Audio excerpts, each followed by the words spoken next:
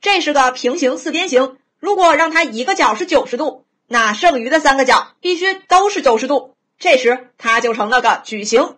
你小时候学过的长方形和正方形都是矩形。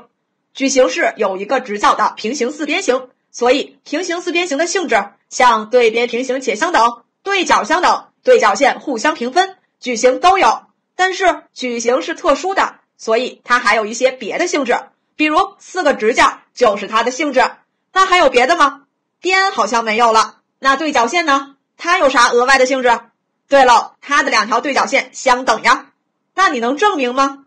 嘿嘿，用这两个三角形全等，或者勾股定理也行。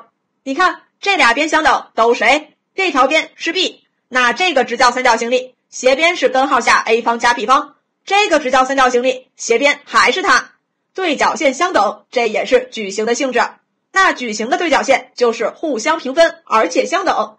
也就是说，这四个都一样，于是它就是个等腰三角形。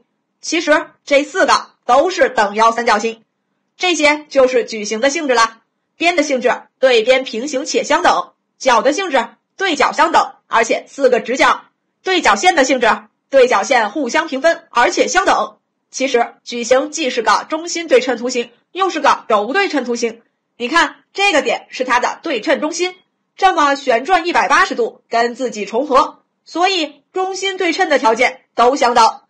另外这条线和这条线都是它的对称轴，这么折叠一下可以重合，或者这么折叠一下也可以重合，因此轴对称的条件也相等。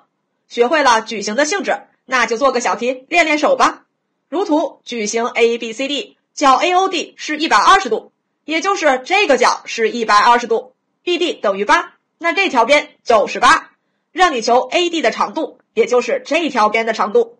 既然给了你角度，那你就先求求角度呗。矩形的对角线相等，而且互相平分，那这四个都是等腰三角形。这个三角形里顶角是一百二十度，两个底角就都是三十度。那这三角形就是个三十六十九十的直角三角形了，斜边是八，这条边就是四，那这条边自然就是四倍根号三，这就搞定了。题目做完了，总结一句话：矩形最重要的就是有四个直角，以及对角线互相平分且相等。牢记这些性质，徒儿们速速刷题去吧。